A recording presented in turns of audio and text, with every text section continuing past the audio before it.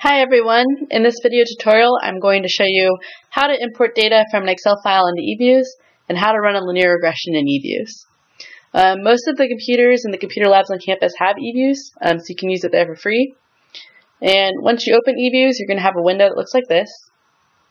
And in order to um, in order to import data from an Excel file into eViews, I'm going to first go to File, Open, Foreign Data as Work File.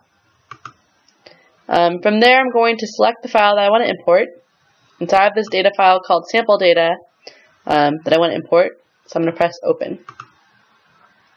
What's going to pop up is this window that says Excel read, um, steps one of three. And you're not going to change any of the settings. You're just going to go next, next, and finish. Um, now I have all my data in eViews. And so I have this data file that includes um, data on wage, marital status, IQ, education, experience, so on and so forth. Um, and it's now in this work file on eViews. If I want to look at the data, um, for example, if I want to see the variable, um, the values of age for people in my data set, I can double click on age, and you can see the ages of people in my data set here. Now that I have my data imported, I can now run a regression. And there's multiple ways you can do this in eViews, but the easiest way is to go to Quick, Estimate Equation. Um, so, for example, if I want to estimate a simple, a simple linear regression estimating the impact of education on wage, um, in this equation X specification box, I'm supposed to put my dependent variable followed by the list of regressors. So my dependent variable in this example is wage.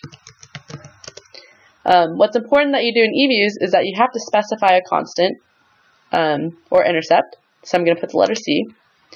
And then my x variable was education. So educ. And you can see the variable names over here. Um, under estimation settings, I'm going to leave it as least squares, or OLS, because I want to estimate the line of best fit. And then you're going to select OK. Once you select OK, you're going to get this regression output window. Um, again, your dependent variable is wage. Um, and you can see your estimated coefficients on your constant and uh, the x variable education and the corresponding standard er errors and test statistics. Um, so in this example, I found that my intercept was 170 and the slope or the coefficient on education was 33.58.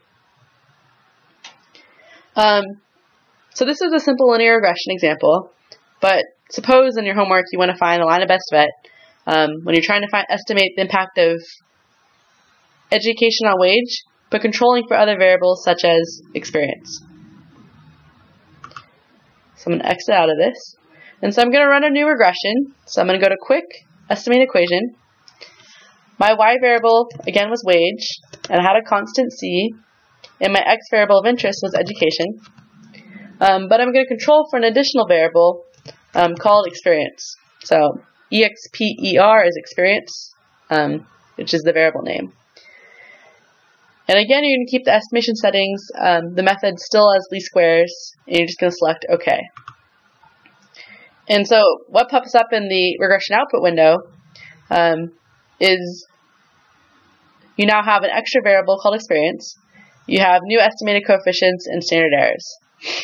Um, if you want to save your output for your homework, all you need to do is just select and highlight all of your data, and you can copy and paste this into um, a Word document. So that's all you need to know for um, how to import data from an Excel file into eViews and how to run a linear regression in eViews.